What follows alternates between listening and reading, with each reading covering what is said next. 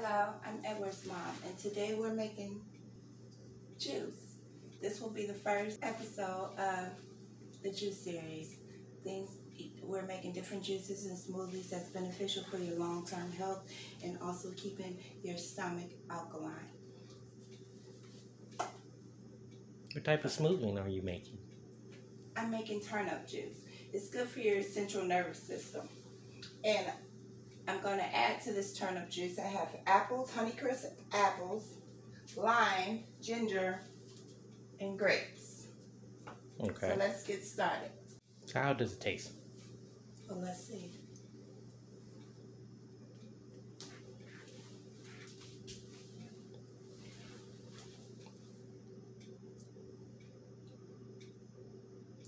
It's peppery. It has a peppery taste. I can taste the ginger, and I can also taste the grapes. I don't taste the apples, and the juice is it's wonderful. Like and subscribe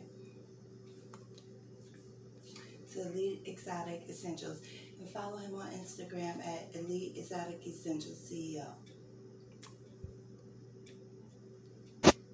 We give thanks.